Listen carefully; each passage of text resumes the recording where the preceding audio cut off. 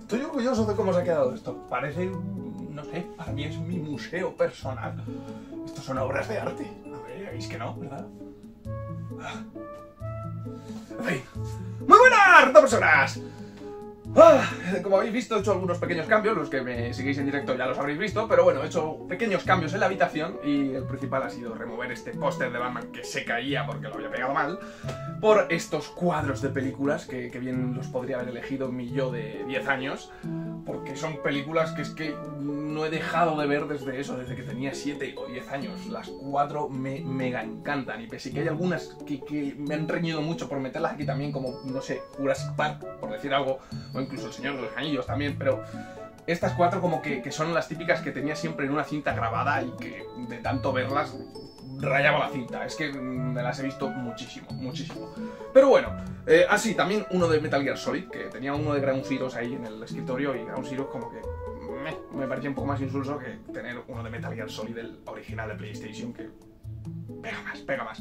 Pero bueno, eh, voy a dejar de enrollarme, aunque me voy a enrollar igualmente, porque hoy estoy aquí por un unboxing. Y es que, eh, bueno, estoy aquí al lado de Alien porque eh, esa película, esta saga, no solo me ha dado grandes cosas en lo cinematográfico, sino que todo lo que ha salido de ella, porque eh, del resto no tanto, pero todo lo que ha salido de esta saga, luego en videojuegos, ahí está Alien Isolation, que lo jugué en VR, eh, no sé, en juegos de mesa, que ahí está Legendary Hunters Alien, todo lo que ha salido me ha encantado. Y hay uno, en concreto, que pese a que no lleva el nombre de Alien, no hemos dejado de jugarlo desde que lo tengo. Eh, es un juego que, que- es eso, pese a que no lleva el nombre de Alien, mm, representa muy bien todas las películas de terror y ciencia ficción espacial. Porque es así, cada vez que lo juegas se genera una película en la mesa. Y ese juego no es otro que Nemesis. Seguro que cualquiera que hable, que, que veáis que habla del juego va a hablar bien del juego. Eh, quizá lo único que puedan poner eh, de pega es el precio, porque es verdad que es un juego de mesa caro. Para ser un juego de mesa son 150 eurazos. Es caro, es caro, pero también os digo que por este rango de precios creo que es el único que de verdad lleva contenido que lo vale. No solo por lo divertido y demás, sino las miniaturas, el tablero, el inserto de la caja, mm, todo. Todo lo que lleva el juego me parece que vale ese dinero. Mm, Me cuesta pensar en producir esto por menos dinero, la verdad. Entonces, aunque sea caro, eh, como digo, lo que trae lo vale y es que de verdad cuando se juega este juego representas una película de, terror espacial y mola muchísimo. En este juego, en Nemesis, cada jugador toma el papel de un tripulante de la nave Nemesis que se despierta del hiperespacio, del hipersueño, mejor dicho, y se encuentra a un compañero muerto en el suelo, fuera de la cápsula, y al que le ha salido algo del pecho. Que bueno, pues ya os podéis imaginar por dónde va la cosa, ¿no? Pues bien, a partir de ahí, cada personaje tiene, cada jugador tiene unas misiones secretas. Una misión que le ha dado la compañía a él y otra misión personal, que es como, bueno, a la mierda la compañía. Creo que lo mejor ahora mismo para sobrevivir es hacer esto. Y que pueden ir desde llevar la nave a la Tierra, escapar en una cápsula de escape, eh, mm, pues eso, eh, reparar motores para que la nave vaya a buen puerto, eh, cargarse a la reina, recoger un huevo y escapar con un huevo, llevar la nave a Marte, mm, reventar la nave, en fin, mil cosas que la verdad es que dan muchísimo, muchísimo juego y que de verdad recrean, eh, pues eso, como escenas de las películas o tramas de algunas de las películas de, este estilo. Y, y que es genial ver cómo esas misiones secretas van haciendo que cada uno, al principio todos se van a ir ayudando para que la cosa vaya un poco bien, pero conforme va avanzando la partida y la cosa se va poniendo más chunga porque es un juego difícil, es difícil sobrevivir en Nemesis, ver la cara de la gente cuando está tomando decisiones de joder, a ver cómo hago ahora para mm, hacer esto sin que los demás me pillen o como ya de repente dice, "Buah, a la mierda, me importa que me, me importa un pledo que, que sepáis cuál es mi misión, eh, ahí os dejo, voy a reventar la nave, activo la autodestrucción y me escapo en una cápsula de escape. O, mira, he hecho un señuelo a esta sala para que se le vengan todos los aliens encima a este, a este personaje, que es al que tenía que matar.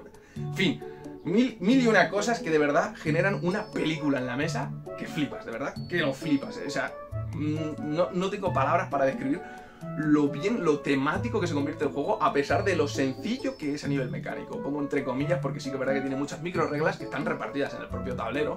No suele ser necesario consultar muy a menudo el manual. Pero lo que es la mecánica básica del juego es tu mazo de 10 cartas, unas acciones básicas y lo que te dicen las cartas que puedes hacer. Y ya está.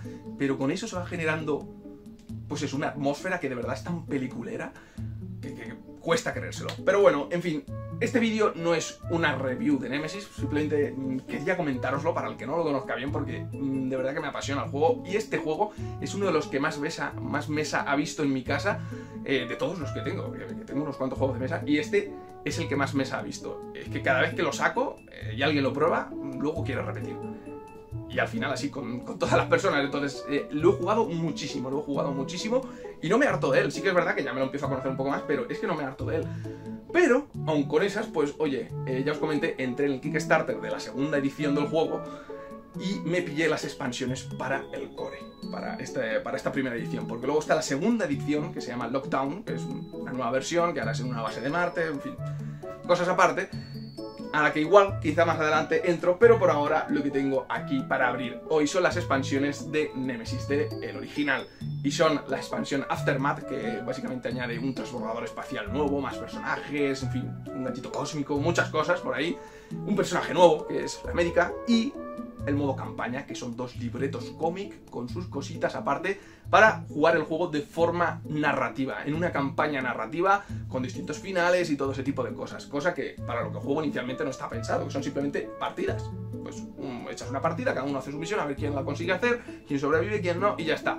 Pero con esto se convierte en una campaña narrativa con sus cómics y todo ilustrado, bien narrado, todo en español además. Una gozada de juego, de verdad. Y eso es lo que vamos a hacer hoy, porque me ha llegado este cajote que ya está abierto, en el que pone Awoken Realms. Y, y eso, eh, hoy vamos a abrir este cajote que ya está abierto para ver qué traen estas expansiones de este pedazo de juego Nemesis. ¡Dentro vídeo!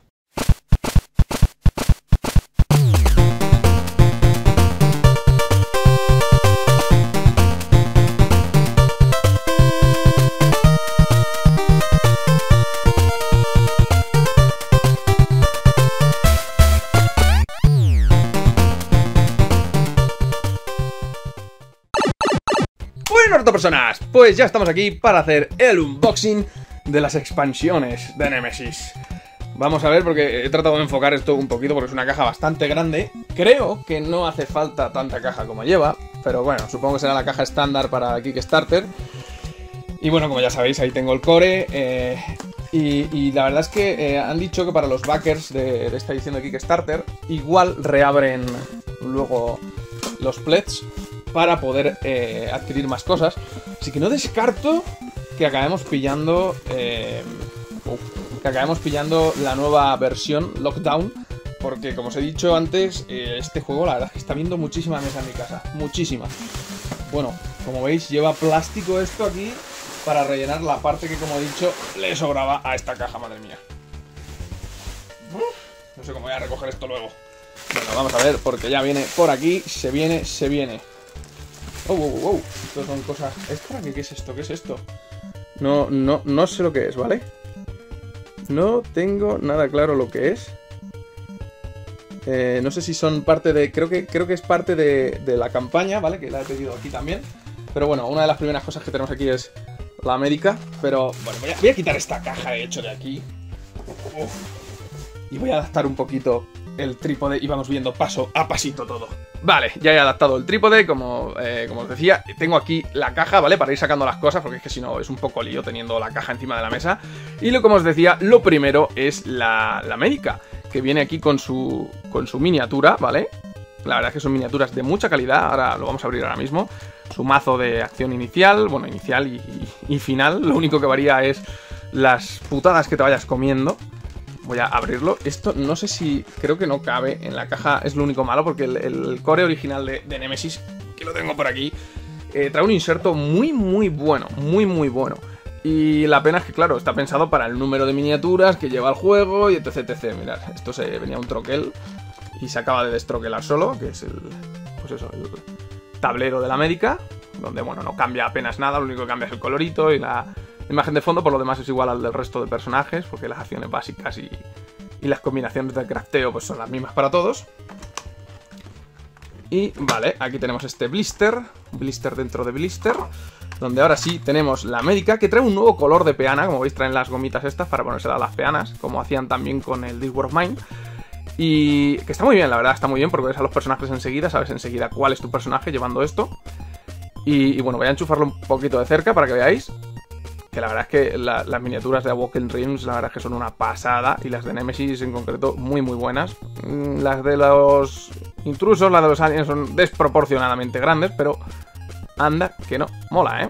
Tiene todo lujo de detalles, con su mochilita ahí, con la cruz, eh, es la América, la, la jeringa ahí, la pistola jeringa, todo lo que sea. Vale, sí, aquí trae la tarjeta para, bueno, la carta para cuando haces la selección de personajes, que se hace al azar, ¿vale?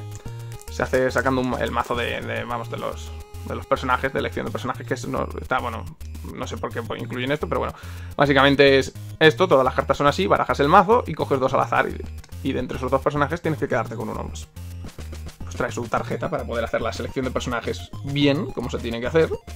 Más cositas, vale, trae su equipo inicial y, equipo desbloqueable, porque todos los personajes tienen un equipo inicial con el que empiezan, que creo que es este, exactamente, el objeto inicial. Y por último tenemos aquí el mazo inicial de, la América, que por cierto lleva esto de nuevo, no sé por qué, trae dos. ¿Hay alguna diferencia en la trasera? ¿Qué, qué?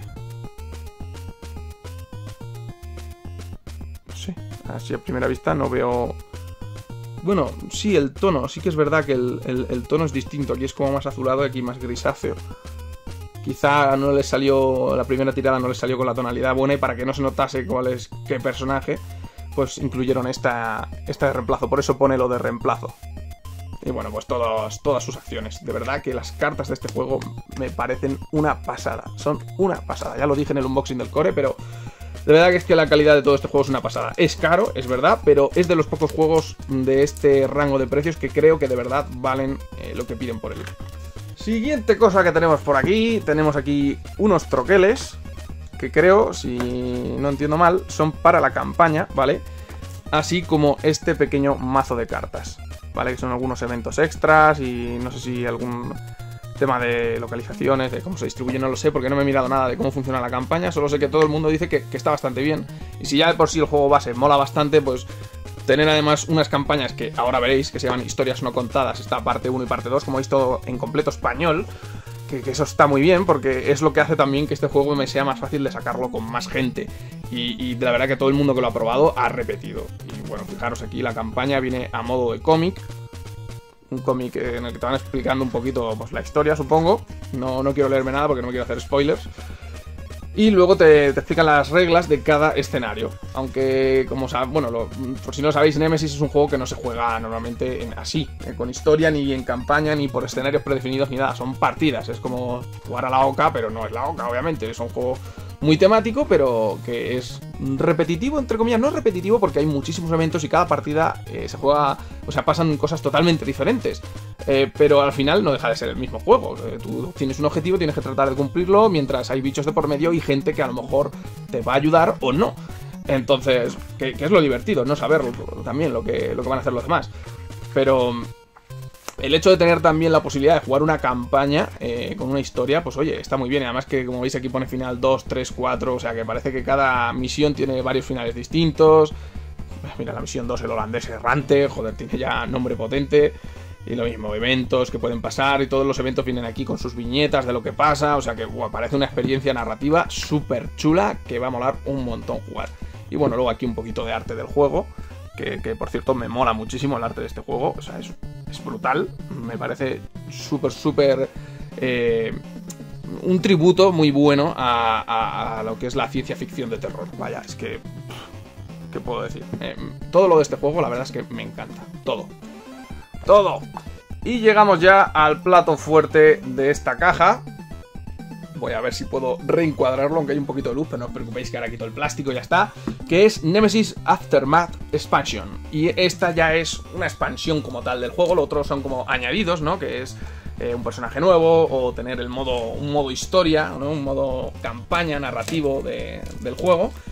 Y otra cosa es esto, que esto añade muchos más personajes y añade, oh, jolines, añade incluso una nueva nave. O sea, como sabéis, Nemesis, o si no lo sabéis os lo digo yo, Nemesis se llama así el juego porque la nave donde transcurren las cosas es la Nemesis, ¿vale? Y aquí básicamente pues viene otra, otra pequeña nave, más, más pequeña, creo recordar. Vamos a verlo ahora. Uf, vale, ya hemos quitado esto. Vamos a abrirlo. Bueno, de hecho voy a darle la vuelta, pero mira, como veis Aquí ya sale la Nemesis, ¿vale? La nave Nemesis. Y aquí viene otra, que es la de Aftermath. Que no sé si se llama así la nave o, o qué, pero bueno, voy a darle la vuelta y así veis. Ah, pues no, aquí no pone nada de lo que trae. Pero eh, hasta donde creo recordar, hace falta el core para jugar a este juego. Va, que le doy a la cámara. Hace falta el core para jugar a esta expansión, ¿vale? Porque no lleva, no lleva intrusos, no lleva enemigos ni nada por el estilo. En el Kickstarter original, en el primero, sí que llevaba una nueva raza de enemigos que ahora ya se vende aparte como una expansión pero antes sí que venía dentro de esta expansión. Y bueno, aquí tenemos ya algunos de los personajes, tenemos aquí también eh, troqueles con... Esto parecen torretas, con lo cual esto puede estar muy guay. Ah, y son, vale, son fichas de exploración para las... Eh, lo voy a decir para las salas, ¿vale? Para las salas que vamos explorando, cuando las exploramos todas tienen una fechita de estas y al darle la vuelta pues te dicen qué estado está esa sala, cuántos recursos tiene y demás. Y aquí ahora parece que hay una nueva cosa de estado que es que tiene torretas. Eso, eso parece interesante. Quizá nos ayuden a defendernos de los intrusos o algo por el estilo. Bueno, aquí tenemos algunas más. Y puertas que nos dice todas Aquí esto es nuevo, que es como que se cierran todas las puertas menos por donde hemos venido o algo por el estilo, creo. Así que tiene algunas nuevas. Tenemos aquí el manual y que nos dice el contenido, que como vemos aquí pone eh, un, tablero de transbordador, ¿vale? O sea que esta nueva nave es un transbordador cualquiera. Cinco tableros de personaje, porque trae cinco personajes nuevos y son bastante variados y eh, originales con respecto al, core del juego. Cuatro piezas de compartimento, que entiendo que son para, pues, para este nuevo transbordador, que no sé si se podrán usar en la Nemesis también, me lo tengo que leer. Y bueno, un montón de cartas en las que hay cartas de objetos de, para, hacer, para preparar objetos nuevos. Eh, mm, las cartas de los personajes, obviamente. Tenemos nuevas cartas de herida. Oh, y cartas de rasgo, ¿vale? que, vale, eso del rasgo que os había enseñado de la médica, ¿vale? Que tenía una habilidad especial. Pues bien, como esas, trae eh, no solo para los personajes de esta caja, sino también para los personajes del core, con lo cual ahora los personajes base van a tener también eh, rasgos, o sea, habilidades especiales. Eso está muy bien, eso está muy bien. Sobre todo porque además es un juego difícil y todo lo que sean eh, más opciones de hacer cosas nunca viene mal. Ah, y también trae torretas, vale, vale, trae, trae torretas, un reloj de arena y un gato nauta, el gato cósmico viene aquí, vamos a verlo eso. Viene el gato cósmico. Y no es Doraemon, no, es el token de jugador inicial. ¿Vale? Que normalmente en el core era una fichita de madera, o sea, de, cartón de troquel de, un gato, ¿vale? De un gato astronauta, y aquí eh, parece que viene la miniatura de ese gato astronauta que venía como un addon también para comprar dentro del Kickstarter. Y bueno, aquí tenemos los personajes nuevos, uno es el convicto, que está muy chulo porque empieza con, con los grilletes puestos en las manos, con lo cual no puede hacer nada hasta que alguien o él mismo en alguna sala se libere de los grilletes y entonces se puede liar a puñetazos. Su arma inicial, de hecho, son, eh, son como unos puños americanos. Bueno, no eran puños americanos, pero es parte de los grilletes, creo. Y pega puñetazos muy potentes. O sea, este, este tío cuerpo a cuerpo es mucho mejor que los demás. Tenemos aquí un androide, eh, tenemos el director general de la compañía.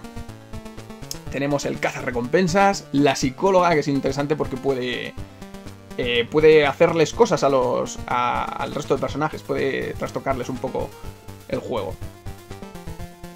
Tenemos el tablero, que es de una sola ala, no, se despliega ni nada, porque como veis el transbordador es pequeñito, ¿vale? Y bueno, bueno, bueno, aquí viene también un pedazo de inserto. Me pensaba yo que esto iba a venir peor, pero viene un pedazo de inserto súper chulo para colocar aquí ahora todos los tableros de personaje. Y qué lástima que aquí no, ya lo único que hubiese faltado para ser todo perfecto es que viniese un hueco para meter aquí a la médica. Que es la que la médica se pudiese meter por aquí también. Es lo único que faltaba tener un huequecito por aquí o en algún sitio que hubiesen pensado para meter a la médica, porque todo lo demás, todo el troquel se puede meter por aquí. Esto es una pasada. Bueno, aquí tenemos, como os había dicho, pues todos los, fijaros, ofertas, que esto es algo nuevo, esto tiene que ser alguna mecánica nueva, eh, esto de las ofertas, bueno, todos los mazos de acción, los nuevos mazos de objetos, que estos son objetos preparados, ¿vale? O sea, de, de crafteo, vaya. Y, como, y fijaros que cada una de estas cosas viene toda con su hueco para, fijaros, para que queden, eh, para que una vez enfundadas sigan cupiendo las cartas en su hueco. Esto es un puntazo, chicos. Esto es un puntazo. Y bueno, viene un reloj de arena que no sé muy bien para qué es aún. No, es que no me he querido mirar nada de la expansión, solo sé que me iba a gustar, pero no me he querido mirar nada para que sean todos sorpresas. Y, y joder, no, no sé para qué será el reloj, pero mm, me tiene muy buena pinta. Y bueno, aquí todos los personajes, que como ya hemos visto antes con la médica, está la psicóloga, creo, y todos tienen un nivel de detalle impresionante. Y el gato nauta, por Dios, tenemos el gato cósmico ya aquí. Que me encanta, me encanta. Este es el token de jugador inicial. Es un gato astronauta, el gato nauta. Dios, cómo mola, cómo mola. Esto es demasiado, esto es demasiado. Mola mucho. Tenemos aquí también las torretas, que parece que van a tener un papel más importante del que yo creía. Por eso de que lleven ya sus propias miniaturas. Y he visto algunos tokens de- del troquel que, que son como para eh, ver las acciones que hacen las propias torretas. O sea, que tienen su propia mini inteligencia artificial. O sea, esto, esto está muy, muy bien, ¿eh? Madre mía, no sé qué más enseñaros. Ah, sí, por cierto, viene un perrito aquí. Que, que creo que es el acompañante de uno de los personajes, si no recuerdo mal, creo que del caza recompensas, que es el que tenemos aquí. O sea, que van juntos. Y de verdad que estoy flipando. O sea, eh, esto sí que. Esto es una señora expansión. Esto es una señora expansión, mm, sobre todo para lo que valía, porque creo que eran cosa de 20 dólares esta expansión. Y es una pasada, es una pasada todo el contenido que lleva, tanto en minis como tableros, cartas, manuales, o sea, un reloj. No viene nada de aire, como veis. De hecho, la caja viene un poco subida para que una vez destroqueles se te quede todo en el sitio. O sea, que está todo muy bien pensado. Y de verdad que estoy muy contento con, con lo que ha venido aquí. Estoy flipando, me hallo flipando, porque es una pasada. Todo lo que ha venido aquí es una pasada. Y bueno, pues hasta aquí ha llegado este unboxing. En fin, y hasta aquí ha llegado este unboxing de todo este material nuevo para Nemesis, que de verdad mm, le da bastante más vidilla al juego de la que me esperaba. Es decir, yo ya estaba contento, muy contento con el core, como os he dicho, y lo que esperaba de estas expansiones es simplemente pues tener más personajes, tener más salas, tener algunas cositas nuevas para darle un poquito más de vida y alargar un poquito más la rejugabilidad del juego, que ya es de por sí enorme, pero para tener más variedad, ¿no? Por así decirlo, y tener alguna cosita nueva. Pero viendo ya, bueno, la campaña narrativa tiene una pinta brutal y que obviamente cambia por completo cómo se juega el juego. Pero aparte, la expansión de Aftermath, esta que, que hemos abierto, la, la última caja grande, eh, me parece que tiene cosas que son muy rompedoras con respecto a la mecánica base del juego. En, pl- en plan, no sé, las torretas, eh, eh, añadir eh, los, la- los rasgos para los personajes, que son nuevas habilidades, en fin. Muchas cosillas por ahí que estoy viendo que mm, tiene bastante más jugo de lo que yo me esperaba. Y además también me ha sorprendido muchísimo el inserto, porque la caja base, por los 150 euros que vale, eh, ya está bien que lleve un inserto a medida, bien hecho, con los dos niveles y todo lo demás, pero esta cajita que costaba como 20-30 dólares, o sea, mm, trae un inserto muy muy apañado también para, para ese precio, así que muy muy muy contento con la compra. Pero bueno, hasta aquí ha llegado todo. Eh, como siempre, cualquier cosita por aquí abajo en los comentarios o mandando un correo al correo de pregúntale a que tenéis en la descripción del vídeo, en mis juegos, junto a mi Twitter, mi Facebook, mi Instagram y todas esas cositas que tenéis por ahí debajo. Y bueno, sí, antes de despedirme, eh, decir que increíblemente, por a pesar de lo bien que estoy hablando del juego, todavía no he hecho ningún gameplay del juego en el canal. Eh, lo he pensado alguna vez, pero no lo he hecho. En algún momento tendré que hacerlo. Además, deciros que el juego está disponible en un módulo de Tabletop Simulator en Steam y, podéis probarlo por ahí. Eh, de hecho, es lo que hemos usado aquí también mucho para jugarlo durante la pandemia, porque obviamente no podíamos jugarlo en mesa, no podíamos reunirnos. Aunque he he de decir que en mesa gana mucho el ver la cara de la gente para ver si está tratando de mentirte, si lleva algún otro plan, no sé. Es un poco un juego también de, póker, ¿no? De, ver cuáles son las intenciones de esa persona y, verlo en, cara, ¿no? Verlo en la cara del otro. Es algo que, le, suma muchos puntos. Pero bueno, en Tabletop Simulator se juega también muy bien. Y nada, ahora sí, me despido. Nos vemos en el siguiente vídeo. ¡Pasado teta!